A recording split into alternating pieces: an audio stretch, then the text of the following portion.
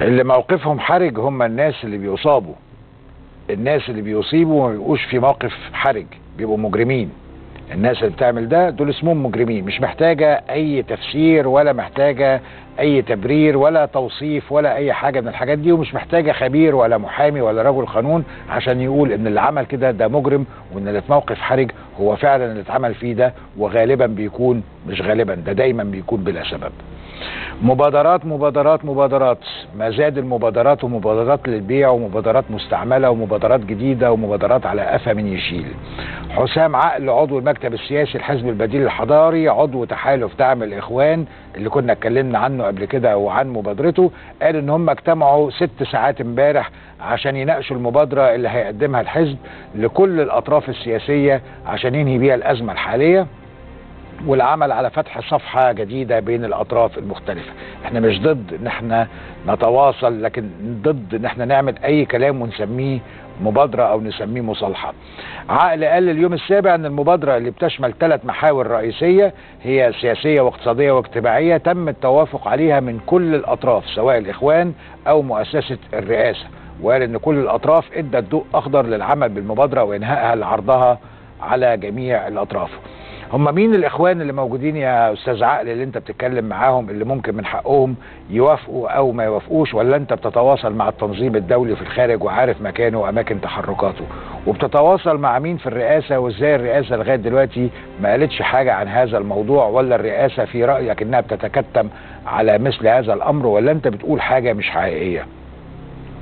عقل قال إن هم بيتواصلوا مع المصابين. انهم مصابين يا أستاذ عقل اللي بتتواصلوا معاهم؟ مصابين الشرطة ولا مصابين الإخوان ولا مصابين القوات المسلحة ولا المصابين من الأهالي المدنيين زي اللي أصيبوا النهارده وبيصابوا كل يوم وزي اللي كنا شايفينهم قدامنا على الشاشة من الحونديه بيقول إن المصابين دولت وأهالي القتلى دول طرف أصيل والمبادرة بتحتوي في عنصرها الثالث الدية. لكن ما ردش على السؤال اللي أنا كنت سألته من أسبوعين أو من أقل لما قلت الدية لمين ومين اللي هيدفعها؟ هل الاخوان هيدفعوا الدية لأهالي شهداء الجيش والشرطة والمدنيين اللي ماتوا وبيموتوا؟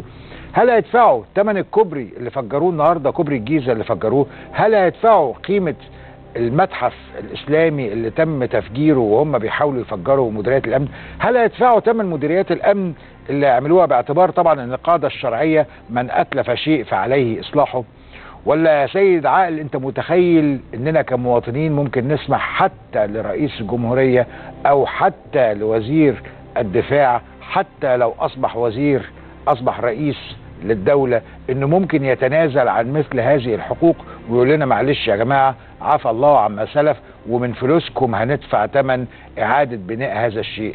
أكيد إحنا لا نسمح بالتنازل عن حقوقنا لا المادية ولا الأدبية ولا الدية ولا حقوق الناس اللي اتقتلت حقوقهم الجنائية اللي موجودة لأن ده مش حق ممكن يتنازل عنه ولا الرئيس ولا الوزير ولا رئيس الوزراء ولا أي حد لأن في حق موجود للمجتمع. حتى أهالي الناس اللي استشهدت مش من حقهم إن هم يتنازلوا مقابل الدية. إيه رأيك بقى؟ لأن في حق للمجتمع حتى لو صاحب الحق الأصيل نفسه تنازل عنه. هتعمل إيه في الكلام ده؟ ولا برضه مبادرات مبادرات مبادرات؟ شبه كده مبادرة الدكتور نفع والدكتور والأستاذ هيكل. الدكتور بمناسبة الدكاترة الدكتور ياسر برهامي نائب رئيس الدعوة السلفية قال حزب النور ما خانش مرسي ولا الإخوان. قال لصحيفة الشرق الأوسط اللندنية حزب النور كان هو المتحمل المسؤولية على الأرض باتفاق الطرفين عشان يدعو الشعب لانتخاب مرسي واستمر الدعم لغاية دستور 2012 ده كلام جديد. ما كناش عارفين إن حزب النور هو اللي مسؤول اللي جاب لنا محمد مرسي. كنا فاكرين الإخوان هم اللي جابوا محمد مرسي لكن برهامي النهاردة أهو بيقول إن السلفيين هم اللي جابوا محمد مرسي.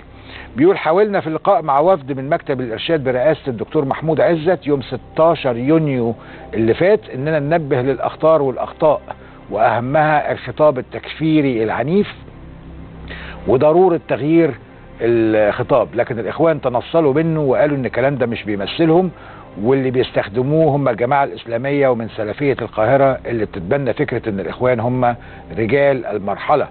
بالإضافة لرموز محسوبة على الإخوان. الإخوان قالوا أن دول مش بيمثلوهم وأنهم هم مع إن هم اللي بيصدروهم في المشهد. برهامي قال لابد من محاصرة الفكر التكفيري المهدد للاستقرار السياسي والنمو الاقتصادي. لفت نظري طبعا إن الدكتور برهامي بيكلم الصحف عادي جدا أهو والكلام في العمرة طلع إن هو مش رفث ولا حاجة وإنه ممكن يكلم الصحف وهو موجود. ولفت نظري برضو إن الشيخ جلال المرة ما طلعش يكذب إن الدكتور برهامي اتكلم مع الصحيفة اللندنية ولا قال ده هو الكلام ده ما حصلش وإن هو ما اتكلمش مع أي حد. لفت نظري إن الدكتور برهامي بيهاجم الحوار التكف- التكفيري رغم إن الشيخ برهامي في بداياته كان بيرفض الظهور في التلفزيون باعتباره بدعة وكل بدعة ضلالة. وبعدين غير. لفت نظري حاجة نسيتها من زمان إن الدعوة السلفية في اسكندرية اللي الشيخ ياسر نائبها هي اللي غطت التمثال في اسكندرية ولفوه بالقماش. شيخ ياسر أذكركم ونفسي بتقوى الله سبحانه وتعالى. شيخ ياسر ويحذركم الله نفسه.